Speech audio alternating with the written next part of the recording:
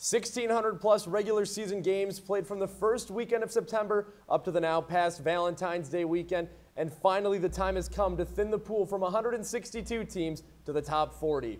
Welcome to the American Collegiate Hockey Association's Division III Regional Reveal Show, hosted by the Chippewa Club Hockey Network from Central Michigan University School of Broadcast and Cinematic Arts and SPA Digital Studio. I'm ACHA D3 Chief of Broadcasting Sean Bednard, and alongside me, Lou Gamlin, host of the ACHA Power Play. One month from today, we will be one day past the National Pool Play.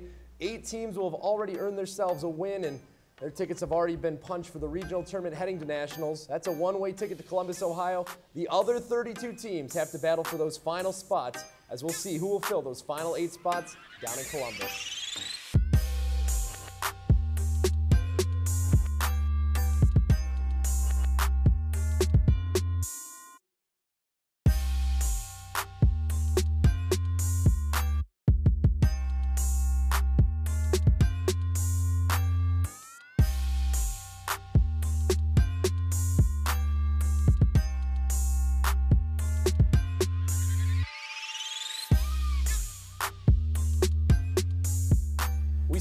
The region that always has people's interest, the ACHA North. Eight of the last nine national championships, losing three teams that competed at nationals last year. Let's take a look at the teams to start off who will be competing in the regional tournament. Lou, who are we looking at for that six versus seven? Well, right now we're going to be looking at uh, Indiana taking on Michigan. But Indiana plays in the ICHC, and of course, Michigan playing in that MCHC. Michigan coming off a couple of very impressive wins over the weekend against Central Michigan, so they're kind of on a roll. Uh, that's I, that's going to be a very interesting matchup. At six versus seven, that's one of the ones you usually know a little bit more of who's going to be there. Five versus eight, you get a little bit more of the fringe. Who's filling in those spots for you? Grand Valley State is taking on in, uh, Adrian College. Adrian College, of course, last year they had two teams. This year, uh, Adrian Black, as they were last year, it's just one D3 team. Grand Valley State, they've got a great record. They've uh, been up and down a little bit second half of the season, but uh, that's going to be a strong matchup for Grand Valley as they take on Adrian. You're looking at the last two in, last two out. Always a bit of intrigue here. Four versus nine. Well, four versus nine, we've got Oakland against Indiana Tech. Uh, they haven't played each other this year. Oakland, as we know, they started out kind of slow this year uh, through attrition and some injury. They got some players back the second half of the year. They've really played well. And Indiana Tech, they're new to the uh, regional tournament this year, but they also have played in the MCHC. They've played the likes of Grand Valley. They've played the likes of Hope College. So uh, they're battle tested. I think this is going to be a very intriguing matchup. And finally, we look at the final regional rankings. Three versus 10, the last one out and the last one in. A little bit of intrigue here. Who are we looking at? We've got Hope College at number three, taking on uh, Ferris State at number 10. Again, these two teams have not played each other. Ferris, this is their first shot into the regionals. Uh, Hope, they're a perennial national power. They didn't make it last year, but I'll tell you what, Sean, I think that they are the team to watch really in this region because they have something to prove after last year's.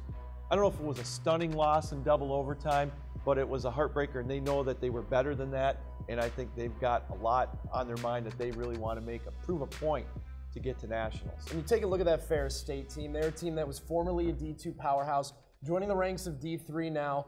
You see, this is kind of a, a rebuilding of getting that Ferris State ACHA program back to contention. You talk about uh, that Hope College team, a team that has made it to regionals the last two years and made it close to the regional finals, but the last two years just not being able to advance that next step. And you got great goaltender play in Austin Kane, mm-hmm. great goal scorers like Garrett Gormley. We're excited to see what this region is going to look like who do we got for the auto bids, the one and two?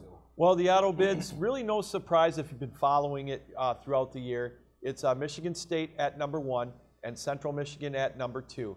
Uh, they've been on top, as I mentioned, most of the year. Central 30 wins this year, a great comeback season, if you will. Uh, last year, just barely out of the uh, regional tournament. And then, of course, uh, Michigan State Last year played a very thrilling overtime game against Grand Valley. They're strong. Coach Don Headley's team really firing on all cylinders right now, including a big weekend sweep not too long ago against Oakland. Um, very well deserved for the top two spots. You see that asterisk next to Ferris State's name. Sioux College was the number six team when the, the final rankings came out.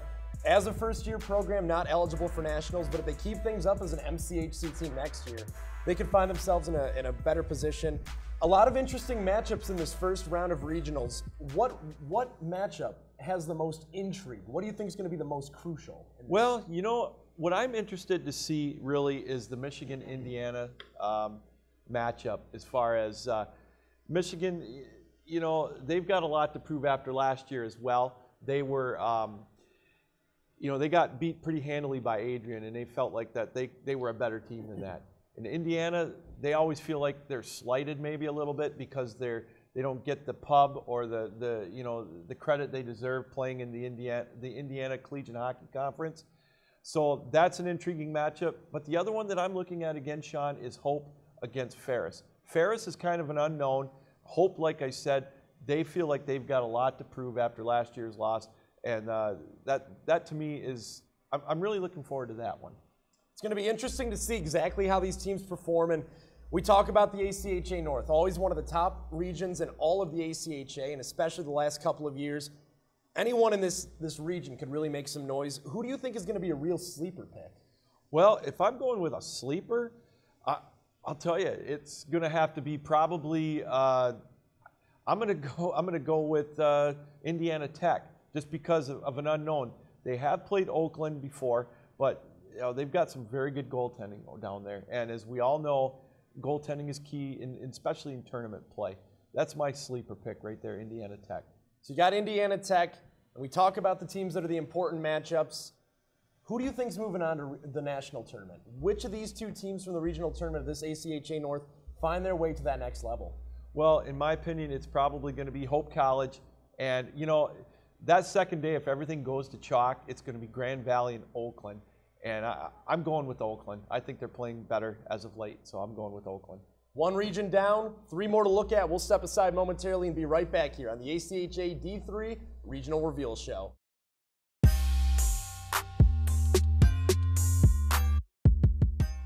Five, four,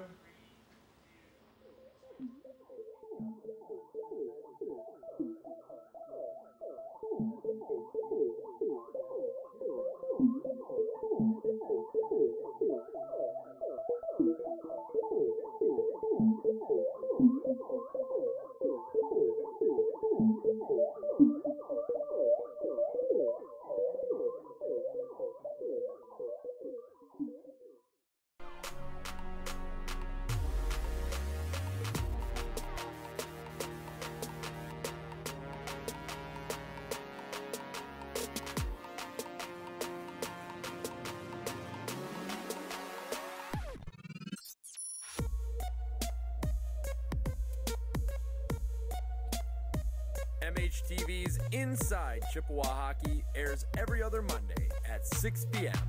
on Charter 189. This semester, MHTV presents Nobody Watches Season 3. A show with questionable quality and, uh, more stuff.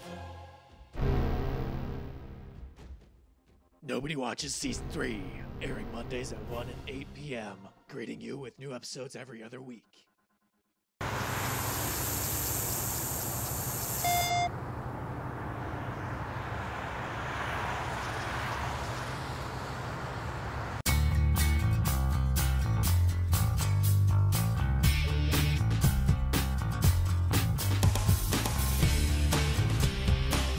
MHTV is a service of Central Michigan University's School of Broadcast and Cinematic Arts.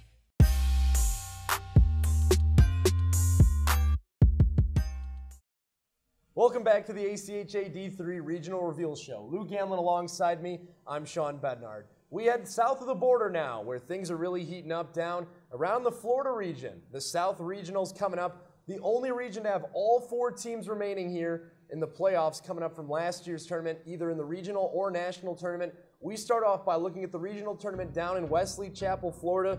The 6 versus 7 matchup at 5:15 p.m. on the 23rd.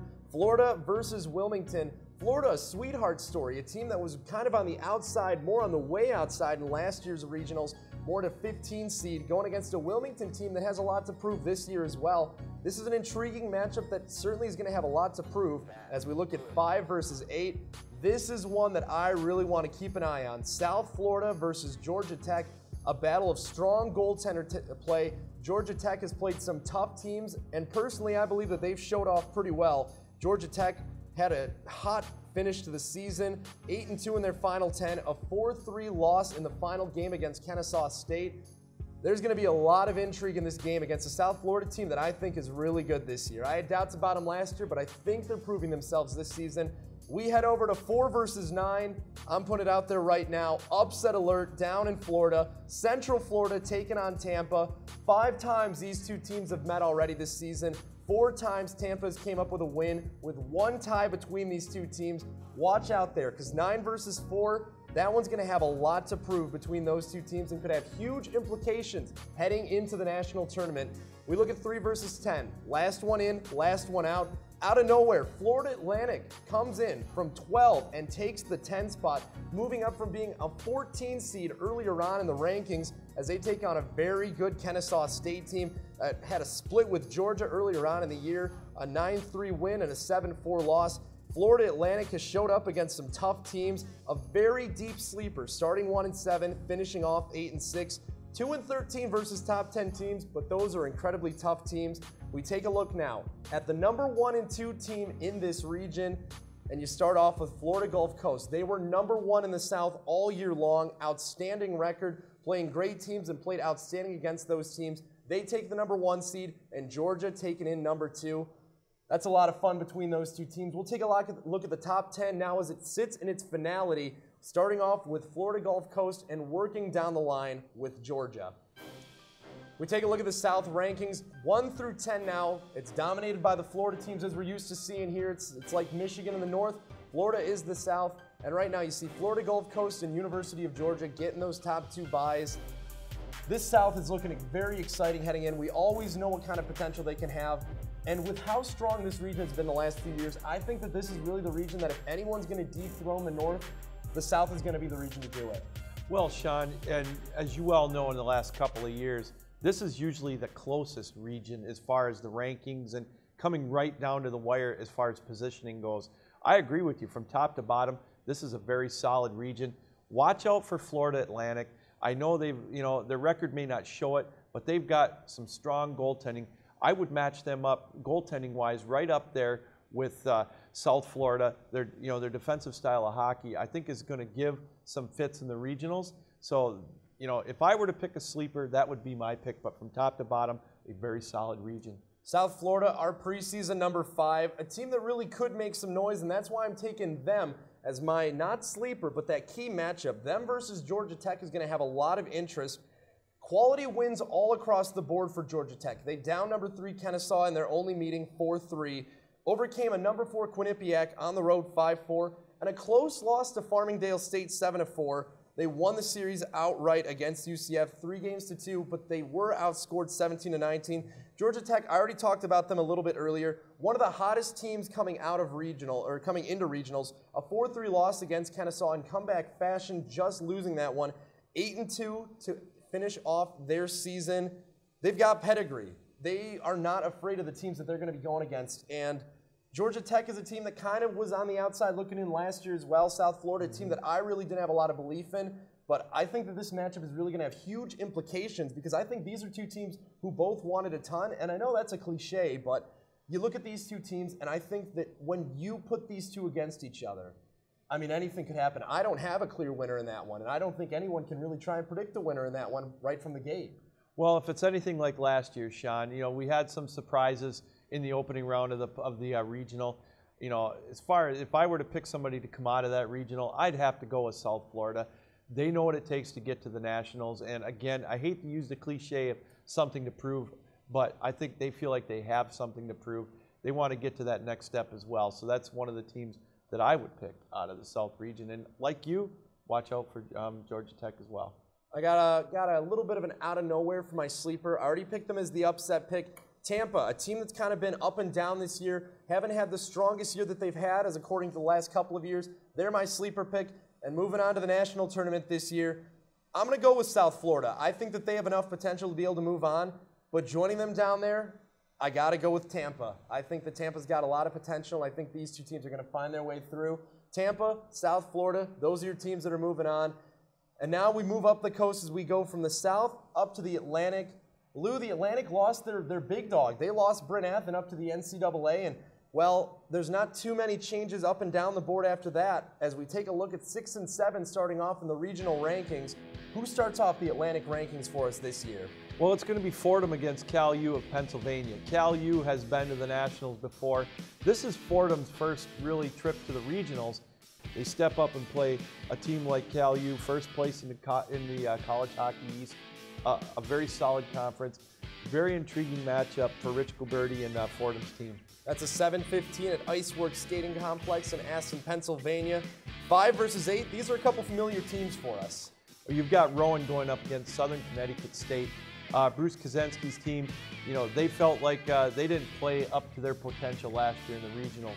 And Southern Connecticut State, they made it to nationals last year.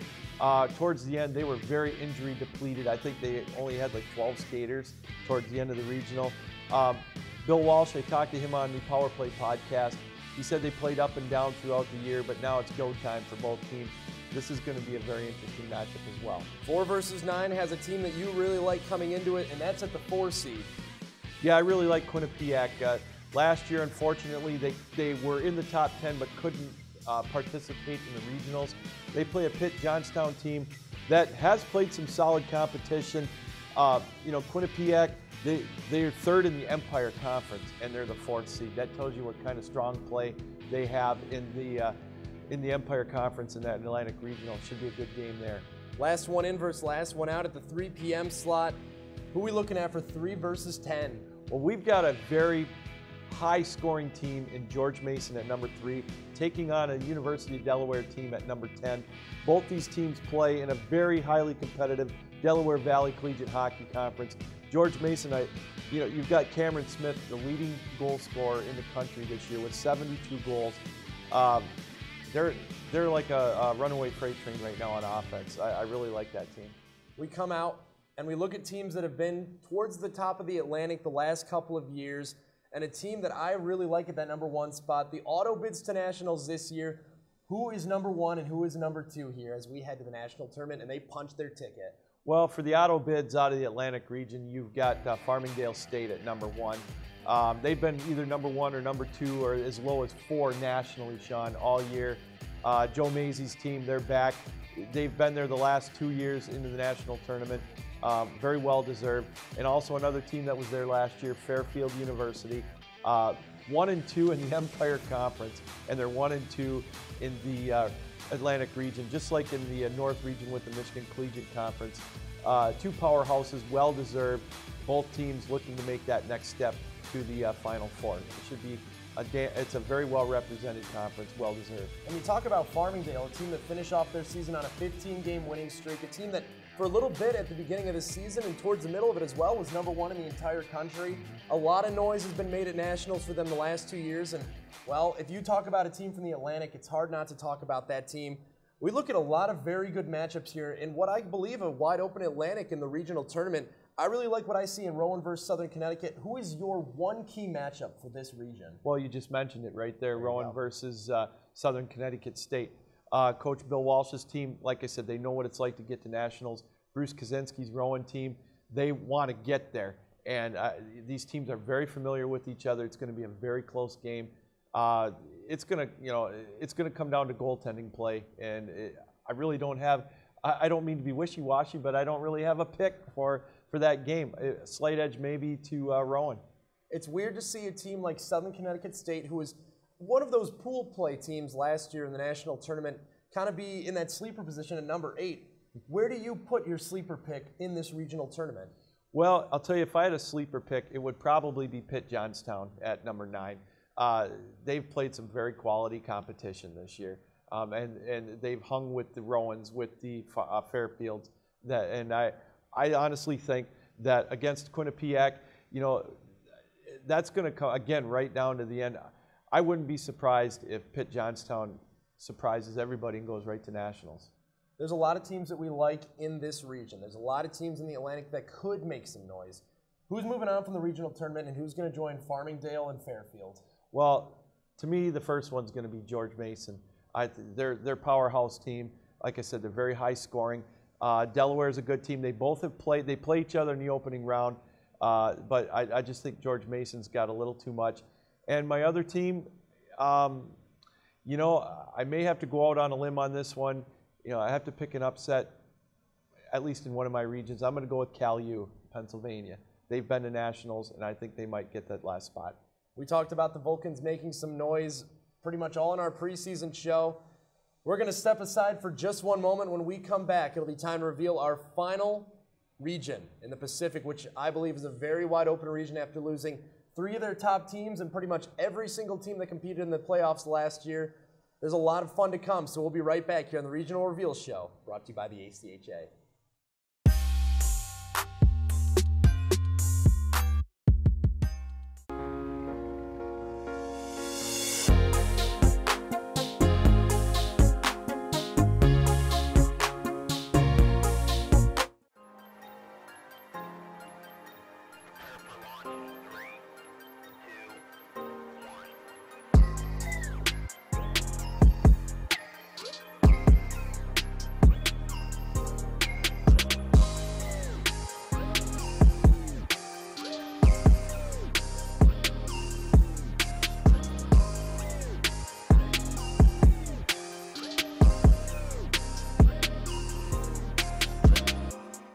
Something catch your eye? Tonight's gonna be perfect. I can feel it. Nothing could go wrong. There's my birthday girl. Did you really expect things to work out? I just wanted one good night.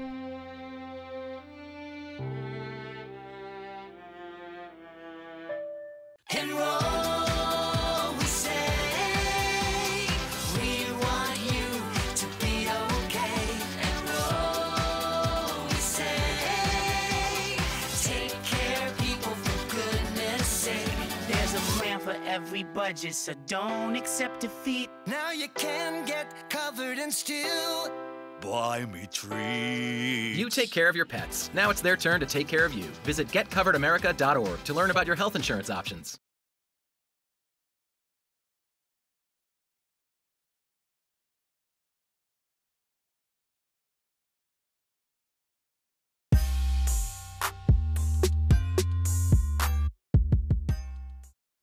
Just about closing time here for the ACHA D3 Regional Reveal Show. Lou Gamlin alongside me. I'm Sean Bednard. Lou, you know what they say? Go West, young man. And that's exactly where we're going to go with our Pacific rankings. A lot of good teams left. Iowa State, Marquette, Colorado State, all moving up to the next level of the ACHA. It's new time. It's a wide open region this year, and we start off by looking at the very middle of the pack in the regional rankings, six versus seven, where we've got Colorado Mines taking on Wisconsin Platteville. Wisconsin Platteville returning to the regional scene after being a number nine seed in regionals last year. It's an interesting matchup that I think will have definitely some some uh, potential going forward to maybe play into that regional semifinal to see who will go on. Five versus eight, though, is where I think the money's coming in from. I think this is the best matchup of the entire regionals of any regional team. Arkansas versus Kansas, a rivalry as old as time. Kansas 3 and 2 this season, 18 goals for to 18 goals against against Arkansas. SECHC champions are Arkansas. They're a dangerous team. They came out of nowhere. They were number 15 finishing the season in the Pacific last year. Either of these teams could very easily find themselves at the national level. Number four versus number nine, Nebraska versus Northern Arizona. You and I both love Nebraska. We talked about them a ton coming into the season. They were our preseason number four. Look at that. They match up as number four now. Regionals number six in 2017. Northern Arizona, a very tough schedule, playing some of the best teams in Colorado. They've got a lot to prove. Three versus 10, the outsider versus the insider. And right there, we've got Colorado Mesa and Wisconsin Milwaukee. Milwaukee, huge jump to get from the 12 seed to the 10 seed in that last ranking, going against a Mesa team that we liked coming into this season. Number five in the preseason rankings for you and I. 2017, they were number 10 in regionals. what a difference a year can make as they find themselves nearly the king of that state of Colorado. We'll talk about who really runs that state when we come back here in just a second. A good matchup all across the board in regionals, but you can't talk about the Pacific without talking about the top two teams out there. They pretty much ran the Pacific the entirety of the season. Air Force, what a season they had. I was so hot on them last year in regionals. So much love for them coming into the preseason. I've talked about it uh, ad nauseum. John Gannon, an outstanding goaltender, 17 and 2 on the season. And you get this good mix because you have that great defense in, in front of Gannon, but you have this humongous scoring, speedy, quick offense. They don't really play that Pacific style. They're like a, a southern style of hockey with northern goaltending, and it makes it so interesting to watch. And New Mexico, you're a wrestling fan, you know about it. Fantastic road warriors. They play pretty much as far west as you can play in the Pacific region, and they have looked strong playing against some of the best teams in the entire country, especially those top 10 teams in the Pacific.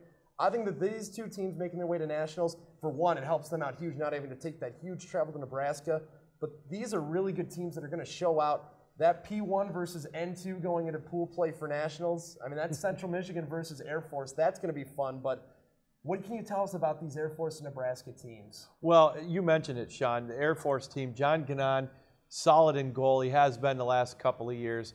Uh, they can put the puck in the net too. They're a very complete team. Uh, Northern, or I'm sorry, New Mexico. You said it, Road Warriors. They're used to traveling, but they've played some very solid hockey all year long. You know, they've gone to Texas. They've played some solid teams there. They travel very well, and you're right. They don't have to go to Nebraska to play in the regionals. They're going to be well rested, and it, it, it's going to be very interesting to see. For me, those two teams haven't been to nationals. We're going to see how they react to it. Are they just going to be happy to be there? Or are they going to be able to compete with uh, some of the powerhouses out east? Another look at those top 10 rankings for you as I talk about the matchup that I really think is going to be an interesting one. I've already talked about it enough.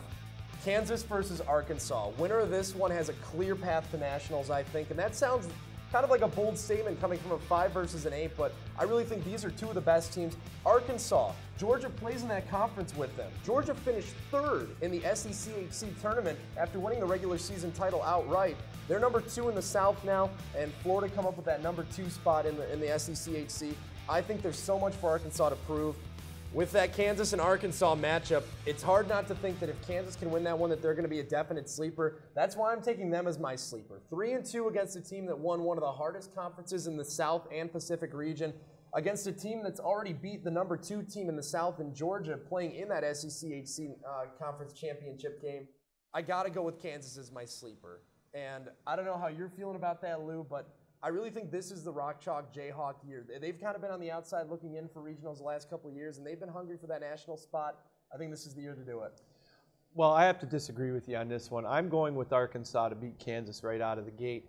My sleeper, although it's a seven seed, is going to be Wisconsin Platteville. I think that they've got a shot really of going into the Nationals. Uh, I just like their style of play. They're, they're very solid, very strong team physically, and I really think that they can make a make a move in this tournament. Platteville with the veteran leadership, kind of. This is their second regionals in a row, and well, somebody in that Wisconsin team, they're finally getting two teams in regionals. If they want to dethrone that Colorado team as the leader in the Pacific, this is the year that they got to do it. My teams to move on to the national tournament from regionals. I'm going to go with Arkansas. I will agree with you. I, I have Kansas as my sleeper, but I think Arkansas can do it. And I'm going to go with Nebraska as well. You love them. I love them. I think this is a team that's been hungry to get to that national spotlight. And that's going to do it for our regional reveals. We will have national tournament coverage coming up in a couple of weeks here. Lou and I will be back in this studio. We'll break down the inaugural ACHA D3 National Tournament Preview Show and see who will be joining these first eight teams down in Columbus with Lou and I and a lot more of our crew. We've already got some of the pools figured out, and we will look at these as we've got Pool A. That'll have Pacific 1 in Air Force and North 2 of Central Michigan. Pool B's got North 1 of Michigan State and Pacific 2 of New Mexico. Pool C, Atlantic 1 of Farmingdale State and South 2 of Georgia. And Pool D, Florida Gulf Coast and Fairfield. We've got to figure out those other eight spots, but that's all the fun of regionals. 32 teams look to fill eight spots and then we will have our national preview show in a couple of weeks. We hope to see you then for the national preview show. Thank you for joining us here today for the ACHA D3 Regional Reveal Show.